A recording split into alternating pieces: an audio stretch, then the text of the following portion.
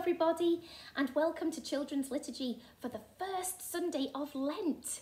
And you'll notice we have a purple cloth on our gospel table today because purple is the liturgical colour for the season of Lent.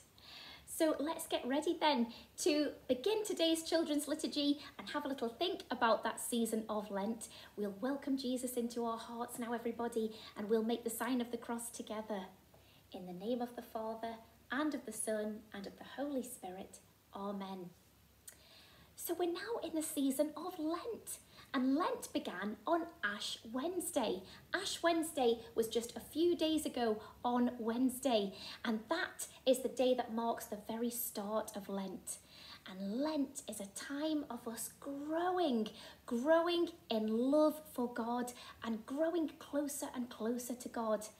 And it's a really special time for us all when we can think about trying to pray more and trying to give more of ourselves and sometimes a little bit of going without to try and help ourselves to grow closer and for our love to grow even stronger for God.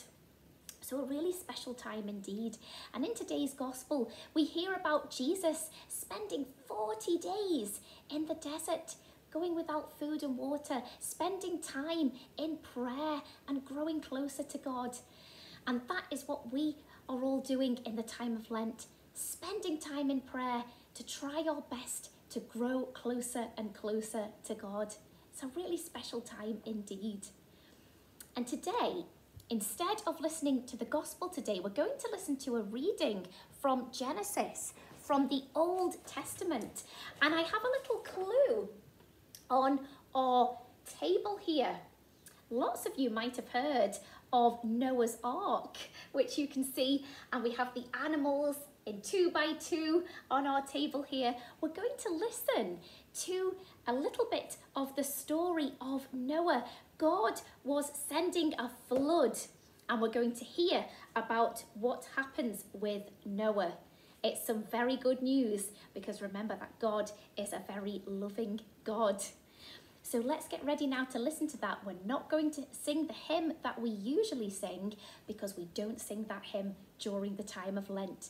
So it's all a little bit different today, but still just as special.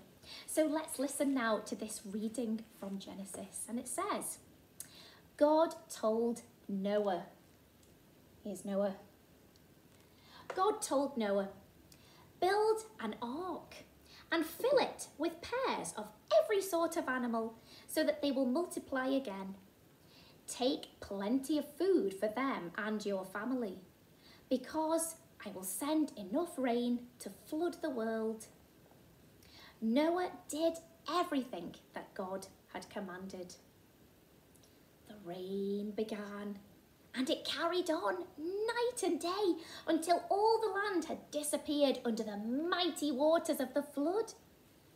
Everything was destroyed except for Noah and the animals, who were all safe in the ark.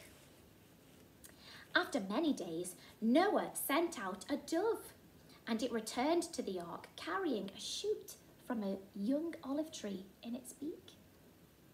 Noah gave thanks and praise to God as the floodwaters began to disappear. And then God said this I will make a promise never again to send such a flood and as a sign of this promise, I will put a rainbow in the sky. What a special promise from God. He promised never to destroy the world, and as a symbol, as a sign of his promise, he put a beautiful rainbow in the sky.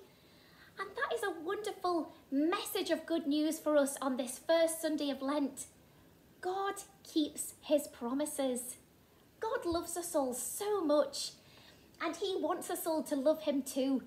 And he is such a wonderful and awesome and loving God who keeps his promises. And this gives us such encouragement and joy on this first Sunday of Lent.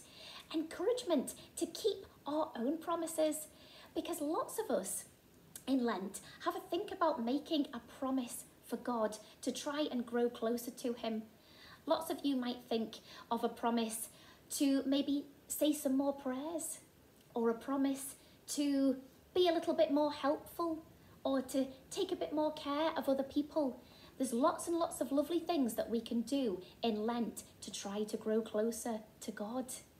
And how wonderful knowing that God keeps his promises to us too, because he loves us so much.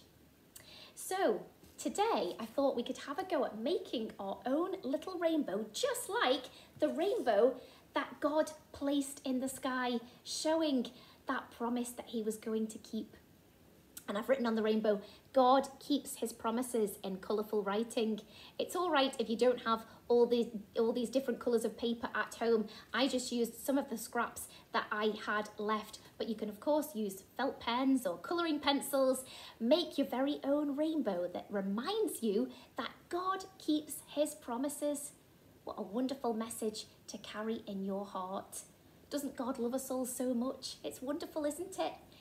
And on the back, like to, you may have done one already, but if you haven't, then have a little go at writing or drawing a picture of a Lenten promise, a promise that you are going to make to God to try to grow closer to Him and have a chat with the people at home and with your grown ups about what you think you can do to grow closer to God this Lent. It's a wonderful time of growing in love for God. What a special time indeed. And now, let's sing a song. This one is to the tune of London Bridge is Falling Down. And the words are God keeps his promises because he loves us all.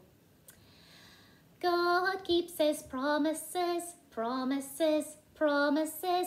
God keeps his promises because he loves us.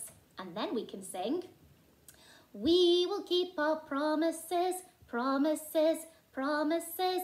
We will keep our promises. We love Jesus. Well done, everybody. A little song about keeping promises. And now let's finish our liturgy with a little prayer. Let's join our hands and you can say it after me. Lord Jesus, Lord Jesus.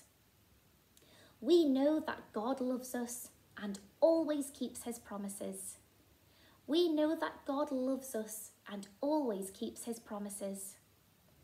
Help us this Lent to keep our special promises that we have made in our hearts.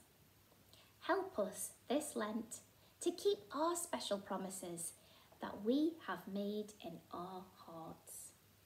Amen. And we'll finish with the sign of the cross. In the name of the Father, and of the Son, and of the Holy Spirit. Amen.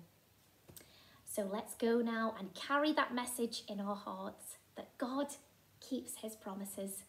What a wonderful God we have indeed.